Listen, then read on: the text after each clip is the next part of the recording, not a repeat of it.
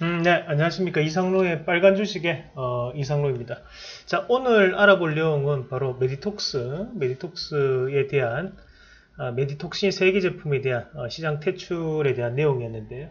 어, 사실 뭐 오늘 어, 그 뉴스가 나왔습니다. 어, 사실 메디톡스에 대해서 애정을 갖고 계신 분들도 상당히 많으실 거라고 어, 생각합니다. 왜냐하면 어, 꾸준하게 어, 지금 이 메디톡스 같은 경우에는 어, 우리 개인 투자분들의 사랑을 또 받아왔고 그리고 이 메디톡신이라는 것이 어떻게 보면 역사를 쓴 거는 마찬가지였기 때문에 어, 이걸 보고 어, 또 다른 여타의 제약 바이오주들이 상당 부분 제2의 메디톡스를 노리고 있던 기업들도 많은 걸로 알고 있습니다.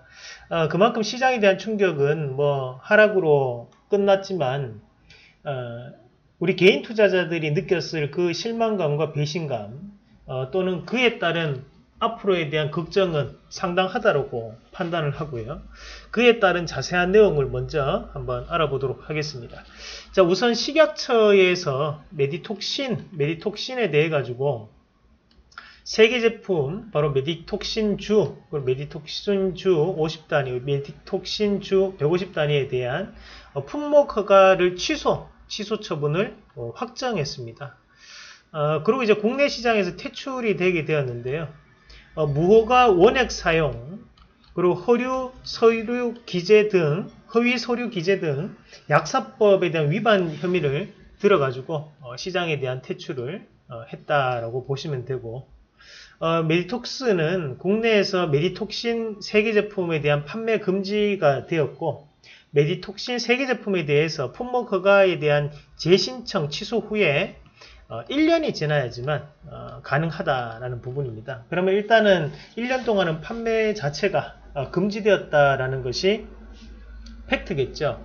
어, 사실 이 메디톡스 같은 경우에는 앞서서 왜 개인 투자분들한테 사랑을 받아왔다고 제가 말씀을 드렸던 것이 주가 추이를 잠깐 한번 같이 보시면 어, 예전에 뭐 한 일화로 이 기업이 지금 메디톡스 같은 경우에는 충청북도 어, 청원군에 있는 그런 회사인데요. 어, 이 회사 같은 경우에 우리가 자, 홈페이지를 잠깐 한번 들어가 보도록 하겠습니다. 뭐 지금 현재 홈페이지 연결이 안 될 정도로 많은 개인 투자들에 대한 접속이 이루어지고 있는 그런 단계라고 좀 볼 수 있고 아 연결됐네요 이제 어, 이 회사가 주소를 잠깐 한번 보더라도 어, 지금 이 회사에서 예전에 뭐 한 가지 뭐 제가 어, 비하인드 스토리를 말씀을 드린다면 예, 이 회사가 이제 오송, 오창 공장 이런 데 있을 때, 음, 그 근처 택시 기사분들이 이 메디톡스가 잘 될 거를 다 알고 있었답니다. 어, 그 정도로 임직원들이 이 우리 회사가 너무 잘 되다 보니까, 어, 또 여기가 이제 산골짜기에 있어요. 그러니까 들어갈 때마다 이 택시를 타고 이제 술 먹고 들어갈 때, 어, 우리 회사 정말 좋다, 잘 된다라는 얘기를 제가 알기로 많이 했던 걸로 알고 있습니다. 어, 하지만 이번에 이런 사태로 인해 가지고 상당 부분 이 회사에 대한 어, 이런 실망감을 느꼈을 부분이 많을 것 같고요. 맞죠? 청원이라고 했죠 제가. 그러니까 여기에 문포를 하고 있는 회사인데요. 아, 그만큼 이제 주변 자체가 어, 이 신도시이다 보니까 주변에 아무것도 없습니다. 허벌판이었는데 어, 그만큼 이런 충격이 상당히 크고 사실 2009년도부터 12,000원대부터 시작을 해가지고 81만 3천원까지 어떻게 보면 정말 어, 주식시장에서도 이런 역사를 쓰기 상당히 힘들거든요.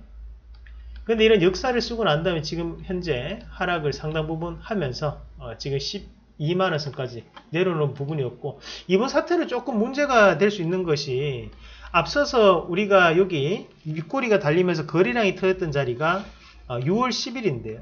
6월 10일 날 같은 경우에 자 주가 추이를 보기 전에요.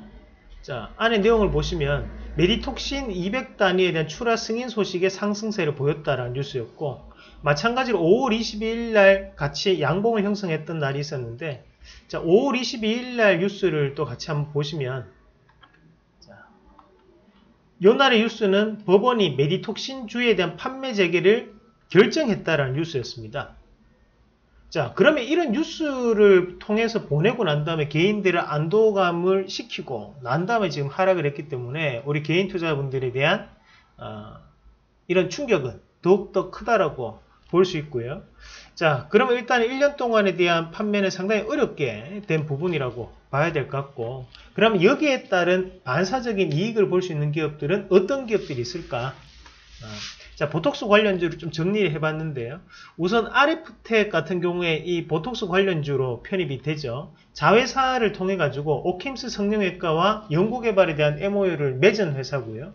추가적으로 이 보톡스 균주를 보유하고 있는 업체로 알려져 있습니다. 그래서 지금 RF텍이 거의 대장주에 대한 역할을 하면서 올라가는 그런 움직임이 나타나고 있고 마찬가지로 제테마 같은 경우에도 필러나 또는 레이저 의료기기에 대한 연구개발을 제조하는 업체로 알려져 있습니다. 그리고 대웅제약과 휴젤 같은 경우에는 이 메디톡스를 직접적으로 겨냥을 했던 업체였죠. 그래서 경쟁사였기 때문에 그에 따른 수혜를 받을 가능성이 높다라고 시장은 평가를 하고 있습니다. 자, 마찬가지 휴온스와 휴온스 글로벌 같은 경우에도 신규 보톡스 공장을 2020년 1월부터 지금 다시 한 번 더 가동을 하고 있는 그런 상황입니다. 자, 파마 리서치 프로덕트 같은 경우에도 올해 메디톡스 경쟁사로서 자회사를 통해서 현재 중국에 진출을 한 상황입니다. 그래서 여기에 따른 주가도 지금 현재 바뀌고 있는 지금 파마 리서치 프로덕트도 제가 이 방송을 통해서도 많이 강조를 했었는데요. 지금 신고가를 가고 있는 양상이라는 점까지 참고를 하시고요. 자, 그리고 DSK 같은 경우에는 자회사 프로톡스를 통해 가지고 보톡스에 대한 생산 공장을 2019년도에 완성을 했고 지금 현재는 다시 한 번 더 가동을 하고 있는 그런 과정이라고 보시면 되겠습니다. 그래서 지금 시장에 알려져 있는 이 종목군들 위주로 우리가 보톡스 관련주 그리고 메디톡스에 대한 대안주로 평가를 받을 수 있는 상황이라는 말씀까지 함께 드리도록 하겠습니다. 자, 저는 매일경제TV 그리고 뭐 MTN 모니투데이 방송 그리고 서울경제TV 그리고 한국경제TV까지 어, 출연을 다 했었고요. 그리고 각각 방송국에서 어, 최고 수준의 수익률을 거두고 난 다음에 거의 뭐 최고 수익률을 거두고 지금 한국경제TV에서 활동을 하고 있습니다. 자, 어, 그리고 많은 강연을 통해 가지고 어, 단독 강연회를 진행을 했었는데요. 어, 요즘 또 언택트 사회고 그리고 최근에 코로나가 확산되면서 이렇게 여러분들을 강연에서 만나 뵐 수 없게 됐는데 나중에 공개 방송이라든지 어, 또는 온라인 주식 강의가 많으니까요. 그때 또 참여하셔가지고 많은 커뮤니케이션 나누고 가시길 바라겠습니다. 자, 이상로의 빨간 주식 구독하기와 좋아요도 많이 신청해 주시길 바라겠습니다. 그럼 오늘 메이톡스에 관련된 우리 보톡스 관련주 함께 같이 알아보셨습니다.